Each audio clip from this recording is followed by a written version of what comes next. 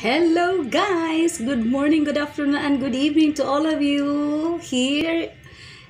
Ayan, andito na yung ating fried ampalaya with a twist. So, ayan guys, yung ating pinaka-twist guys, may sardina sa ibabaw. At alam niyo ba guys kung paano natin to kainin? O syempre! Meron tayong style sa pagkain ito guys. Kaya watch! Watch out! Let's eat!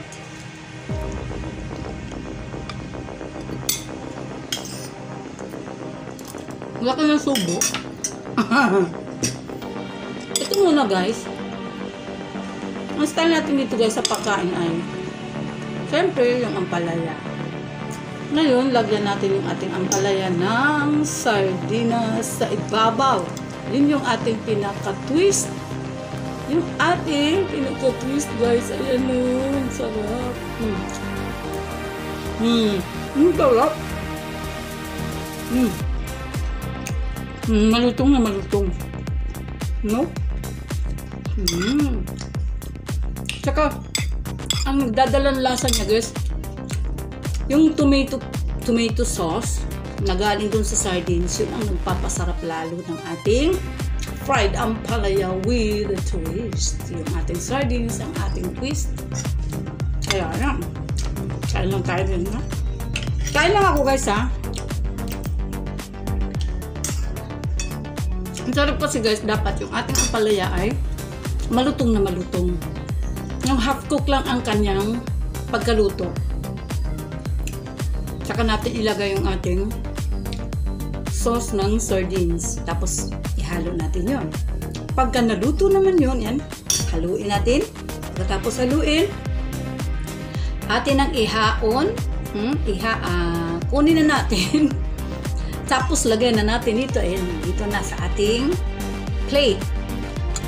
Saka natin ilagay yung ating twist na sardinas. Diba? Ang sarap guys. Hmm. Dito na naman si Akits. Lagay na natin ulit. Lagyan natin ulit ng sardinas yung ating ampalaya sa ibabaw yung ating sardines, yung ating toppings. O diba guys? Oh, sarap. Hmm. Hmm, sarap. At saka guys, nawawala yung kanyang pait.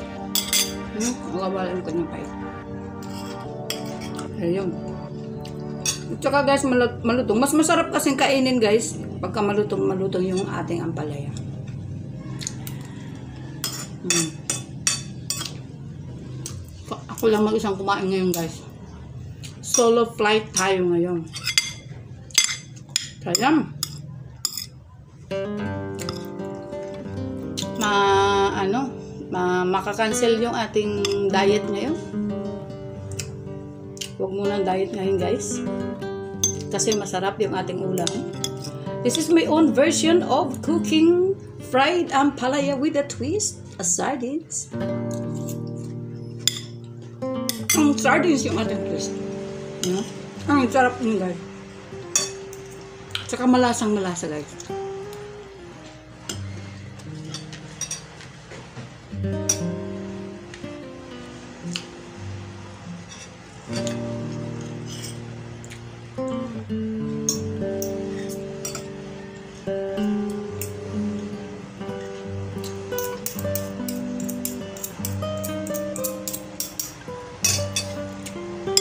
Ayan guys.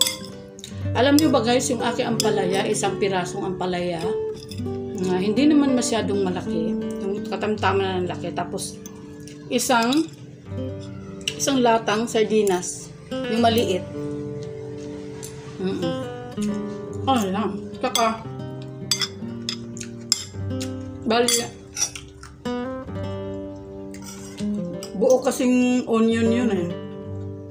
Maliit na onion. Yung sibuyas. Saka half na kamatis. Kasi yung ating sardines ay may kamatis na yun. Eh, haluin, haluan pa natin ng kanyang sauce. So, kukunti lang ang kamatis. Saka ako guys, yung aking sausawan guys, ketchup, na manamis-namis at um, anghang. nilagyan natin. Nilagyan ko ng um, kalamansi. Mmm, sarap. Mmm.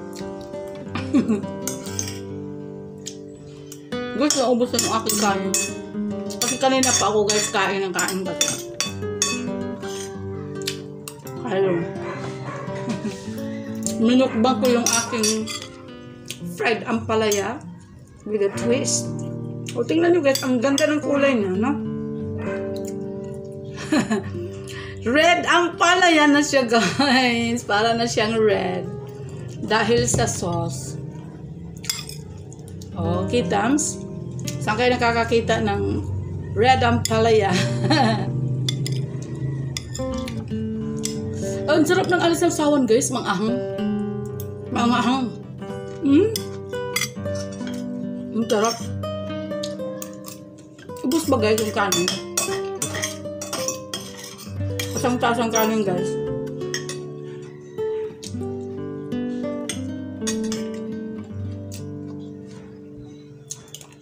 Mm -hmm.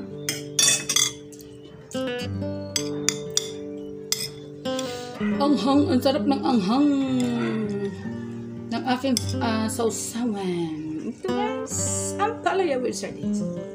Mm. Kanin guys, ubos na. Wala kanin guys, ubos na. Simutin natin.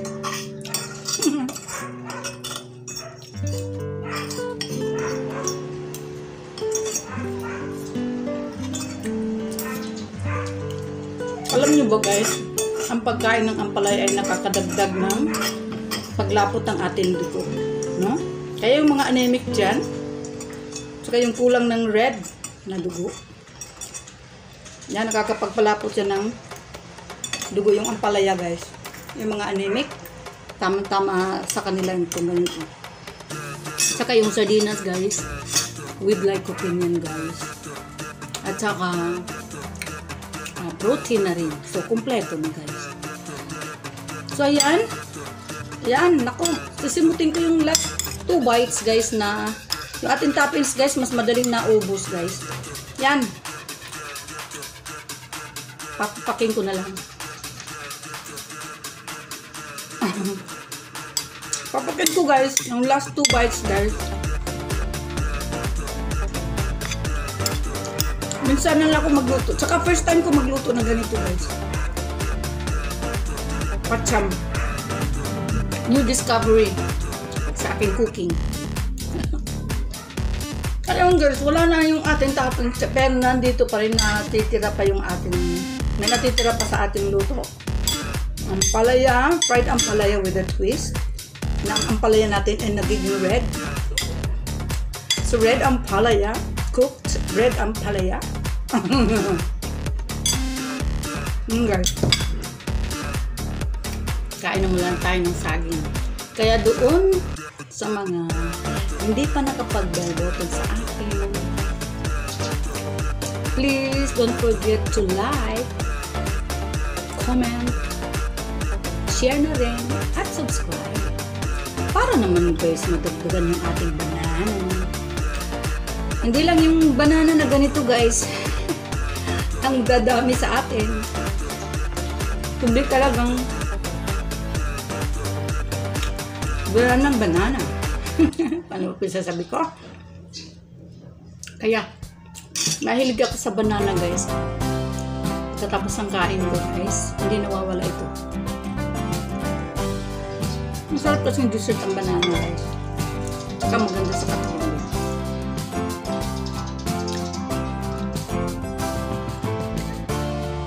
Ngayon, ngayon na lang ulit ako ng mukbang kaya. Parang na, na ano yung aking dila guys. Parang nawawala na ako sasabihin. Nabubulol ako minsan guys. Kasi pagod na pagod ako guys. Galing ako sa labas. Init-init sa labas guys. No. Summer is uh, talagang summer na summer na ngayon. We feel the summer. The, we feel the heart of summer. Kaya, nag-oily pa ang aking mukha, yung aking face. Wala na. Walang ka makeup. Wala na makeup guys. Nalusaw na guys. Umalis ako kanina guys. Kanina umaga. Umalis ako. Nakauwi ako guys. Umalas 12 na guys. Kaya sobrang pagod ko guys. Ang init sa labas talaga. Grabe. Kahit galing ka doon sa office. Mainit ang init.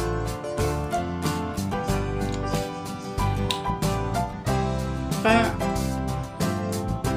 kahit may payong ako,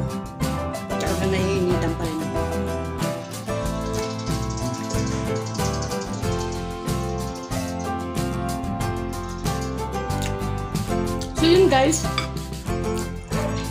yung ating ampalaya ay busog na kasi ako guys, andito pa rin. Gusto nyo guys?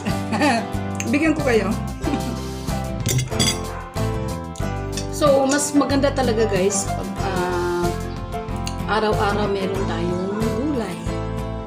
Dahil ano yan eh, fiber yan eh. Tsaka, mas maganda sa katawan ng lagi may gulay. Dahil ang gulay ay pampahaba ng buhay. Di ba? Haba ng iyong buhay, maganda pa rin.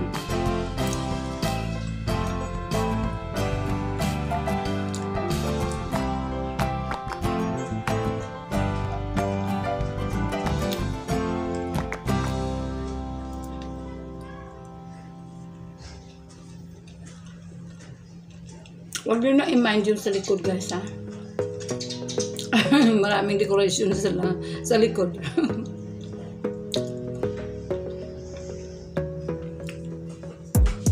Gotta focus on yourself, on your faith, on your dreams, on your mind, on your health, yeah.